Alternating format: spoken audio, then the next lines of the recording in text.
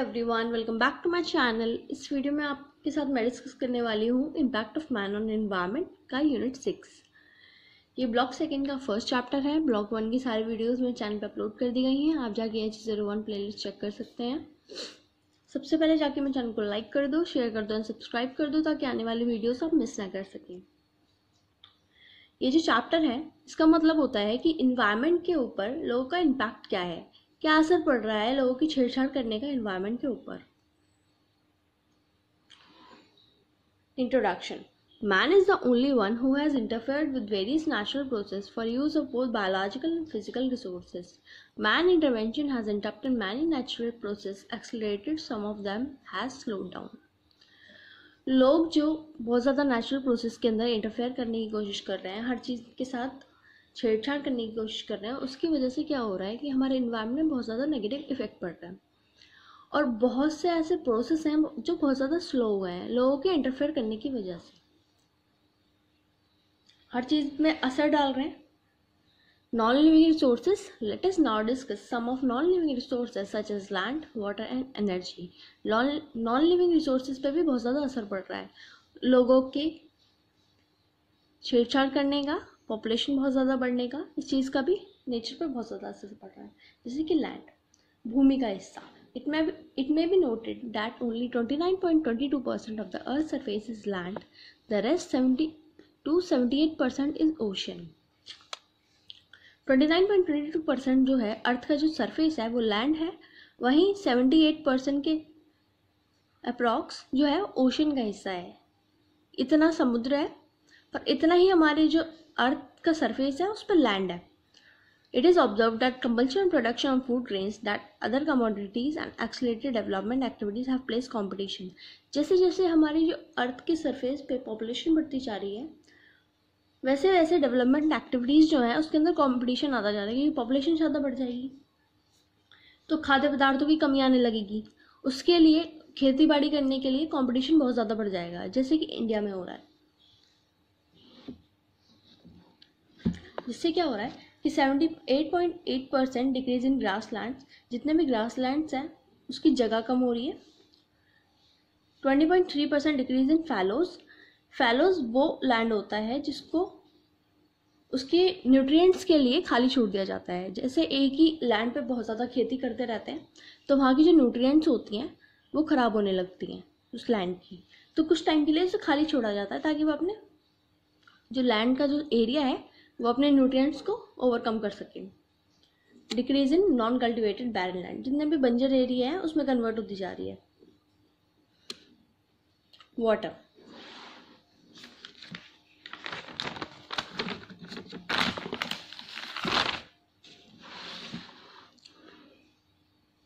it the most crucial and essential input to all usages of land as well as essential for many other human needs पानी जो है वो बहुत ज़्यादा important है main input है किसी भी एरिए का। वो लोगों की ज़रूरत भी पूरी करता है। ह्यूमन बींग्स की यूटिलाइज करने के बाद भी बहुत ज़्यादा इंपॉर्टेंट है वो इन्वायरमेंट के लिए, क्योंकि वो मिट्टी की जो हेल्थ होती है ना, उसको रेगुलेट करने का भी काम करता है। It is found that consumption demands are particularly from these sectors पानी के कंजप्शन डिमांड किस किस सेक्टर से आती है? एक तो इरिगेशन के लिए पानी बहुत ज़्यादा ज़रूरी होता है। डोमेस्टिक सेटलमेंट के लिए जो लोग पशुपालन करते हैं, उसके लिए भी पानी बहुत ज़्यादा ज़रूरी होता है। फैक्ट्रीज के अंदर भी पानी बहुत ज़्यादा ज़रूरी होता है। Available water for irrigation expected to provide irrigation at least seventy percent of crop water जो हमारे पास पानी की अवेलेबिलिटी है, वो खाली सेवेंटी फाइव परसेंट जो खेती बाड़ी है, उसको पानी दे सकती है। Energy fossil fuels Fossil fuels are derived from prehistoric plants and animals under the effect of intense heat and pressure. जो बहुत ज़्यादा ज़्यादा काफ़ी काफ़ी सालों से प्लांट्स और एनिमल्स एक हीट के अंदर और प्रेशर के अंदर, धरती के क्रस्ट के अंदर होते हैं, उसको जब वो निकाले जाते हैं बहुत करोड़ों साल बाद तो उनको क्या कहते हैं हम फॉसिल फ्यूल्स जैसे कि कोल हो गया पेट्रोलियम हो गया नेचुरल जितनी भी गैसेस है वो हो गई in the world, India is at the fifth position at the coal producer. पूरे वर्ल्ड के अंदर इंडिया जो है, वो फिफ्थ पोजिशन में आता है कोयले को बेचने में प्रोड्यूस करने में। The projected demand of coal and lignite by two thousand eighty we take an average of 500 hundred M T as the annual need अगर हम एवरेज लगाएँ कि हमें 500 हंड्रेड एम टी की ज़रूरत है पूरे साल के अंदर तो हमारे पास सिर्फ़ इतना कोयला है कि हम अगले पचास साल तक चला सकते हैं। एनर्जी के अंदर बी मिनरल ऑयल और petroleum a complex mixture of hydrocarbon often associated with natural gas the petroleum has become the most important sources of energy in the world जो पेट्रोलियम है, बहुत इंपॉर्टेंट सोर्स है energy का पूरे world के अंदर. पर जो पेट्रोलियम की जो कमी आने लगी है बहुत ज़्यादा कंट्री के अंदर द प्रोडक्शन रोज टू जैसे जैसे हम इसका प्रोडक्शन बढ़ाते जा रहे हैं ना, उसके ही डबल होके इसकी जो है कमी आने लग गई है. 300.5 टी में इसका कंजप्शन होने लगा है और ये जो, इसकी जो ऑर्डर आने लगे हैं दैट इज़ 43.4 टी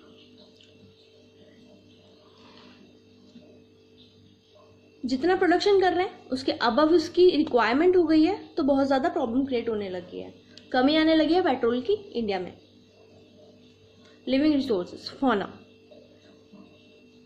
फोना कहते हैं हम ये टर्म दी जाती है, जितने भी एनिमल्स वगैरह होता है, जितनी भी स्पीसीज होती है हमारी, चाहे वो बर्ड्स हों मैमल्स हों इन्वर्टिब्रेट्स हों वॉर्म्स हों, हर तरह की जितनी भी स्पीसीज है, जो एनिमल्स के उसमें आती है मैमल्स के अंदर आती है, उसको हम क्या कहते हैं? Fauna in India there are about seventy five thousand species of fauna which include two thousand species of bird India के अंदर, कुल मिला के पचहत्तर हज़ार स्पीसीज़ हैं फोना की, जिसके अंदर दो हज़ार स्पीसीज़ बर्ड्स की बोली गई हैं, पच्चीस सौ स्पीसीज़ जो हैं, वो फिशेज़ की हैं, आठ सौ पचास स्पीसीज़ जो हैं, वो मैमल्स की हैं, और sixty nine thousand zero fifty species हैं इन्वर्टेब्रेट्स की, जैसे कि वॉम हो गए इंसेक्ट्स हो गए क्रस्टेशियंस हो गए। It may be noted that in produces nearly 46 mt of milk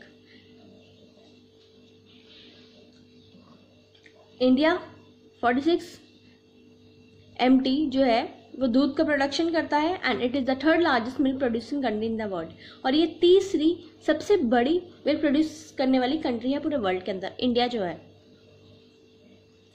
Cattles and buffalo are the main source of milk जितने भी हमारी कैटल्स होती हैं, गाय और भैंस, ये सारे जो मेन सोर्स हैं दूध के।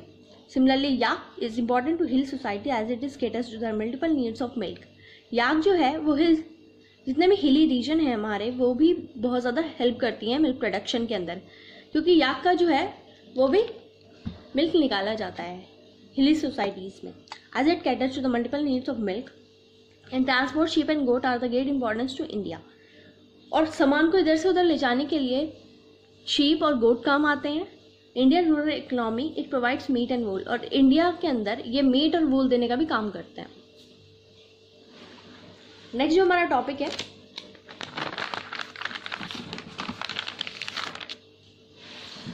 वो है फ्लोरा फ्लोरा क्या होता है? कि जितने भी प्लांट स्पीसीज होती हैं हमारे अंदर, हमारी जो कंट्री में जितनी भी प्लांट स्पीसीज होती हैं, उसको फ्लोरा का टर्म डिनोट किया जाता है. India is one of the twelfth centre of genetic diversity of the world India के अंदर इंडिया का जो एरिया है, वो है ट्वेल्थ सेंटर। बारहवें नंबर पे आता है पूरे वर्ल्ड के अंदर जितनी भी हमारी इंडिया में जेनेटिक डाइवर्सिटी है, जेनेटिक डाइवर्सिटी का मतलब यह होता है? प्लांट की स्पीसीज होती हैं। फोर्टी फाइव थाउज़ेंड स्पीसीज है हमारे यहाँ प्लांट की फिफ्टीन थाउज़ेंड स्पीसीज है वास्कुलर प्लांट की, और थर्टी थाउज़ेंड स्पीसीज है नॉन वास्कुलर टाइप की। नॉन फ्लावरिंग ऐसे भी बहुत से पौधे होते हैं, स्पीसीज होती हैं, जैसे फंगी हो गया, एल्गी हो गया, जिसमें फ्लावर्स नहीं आते। The moreover nearly seven thousand species of plant endemic to India जबकि अब सात हज़ार स्पीसीज प्लांट की ऐसी हो गई हैं, जो बहुत, बिल्कुल एक्सटिंक्ट के कगार पे हो चुकी हैं। ये जो नेक्स्ट टॉपिक है कैरिंग कैपेसिटी ये बहुत बहुत बहुत ज़्यादा इंपॉर्टेंट है। फाइव मार्क्स का क्वेश्चन है, इसको आप बहुत अच्छे से याद करके जाइएगा। Originally used in engineering design in respect to productive potential of land, the concept of carrying capacity has been used to indicate the number of cattle or cattle equivalent to other livestock that it can be sustained throughout the year on one hectare of range or the pastoral land. Carrying capacity क्या होता है carrying capacity का मतलब basically होता है carrying का मतलब होता है धारण करना किसी भी चीज़ को धारण करने की कैपेसिटी कितनी होती है ये जो टर्म होती है ये इंजीनियरिंग के डिज़ाइन के अंदर देखी जाती है ये बेसिकली बताती है कि किसी भी लैंड का प्रोडक्टिव पोटेंशियल कितना है। प्रोडक्टिव पोटेंशियल कि कितने लोग, कितने जो एनिमल्स हैं, उसको वो धारण करने की कैपेसिटी रखता है एक लैंड एक सिंपल सा एग्जांपल देती हूँ। सपोज़ कीजिए एक लैंड है, एक ग्रास लैंड है। उस ग्रास लैंड की कैपेसिटी है कि वो अप्रॉक्स ट्वेंटी शीप्स को फ़ीड करने का काम कर सकता है। जब वो ट्वेंटी शीप्स को फ़ीड करने का काम करेगा तो उस लैंड के अंदर जितनी कैपेसिटी है कि वो विदाउट इलिफेक्ट्स उन सारी शीप्स को फ़ीड कर देगा और उसकी जो लैंड है उस पर बिल्कुल भी इफ़ेक्ट नहीं पड़ेगा। जब इफ़ेक्ट नहीं पड़ेगा तो जो लैंड है, उसके जितने भी न्यूट्रिएंट्स है, वो ख़त्म नहीं होंगे।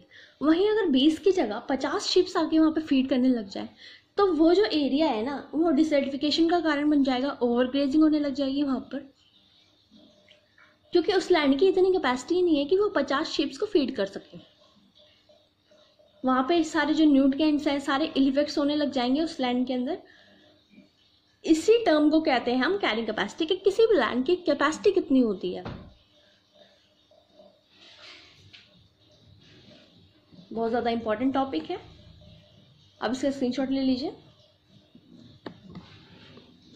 This model include the following ये जो मॉडल है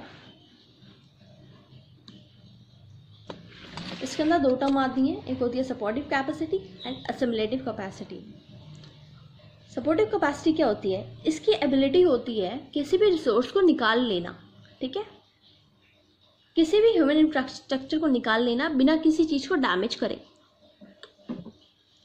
जैसे भी किसी एरिए से कोई भी अपने काम की चीज़, कोई भी रिसोर्सेज निकाल लेना, भले ही वहाँ पर कोई भी डैमेज ना हो डैमेज नहीं होना चाहिए, खाली इसके अंदर एबिलिटी होती है किसी चीज़ को निकाल लेना। Assimilative capacity it is the ability to absorb without ill effects on the environment इसके अंदर, इसकी एबिलिटी ये होती है कि किसी भी चीज़ को इन्वायरमेंट के अंदर से एब्जॉर्ब करने कर लेना। ये जो सपोर्टिव कैपेसिटी होती है तो विड्रॉ करने का काम करती है रिसोर्सेज को। एसिमुलेटिव कैपेसिटी होती है, वो एब्जॉर्ब करने का काम करती है। वीडियो अच्छी लगी हो तो चैनल को लाइक कर दो शेयर कर दो सब्सक्राइब कर दो ताकि आने वाली वीडियोस आप मिस ना कर सकें। और कमेंट सेक्शन में मुझे बताओ इस सब्जेक्ट से रिलेटेड आपको कौन सी वीडियो चाहिए? Thank you for this video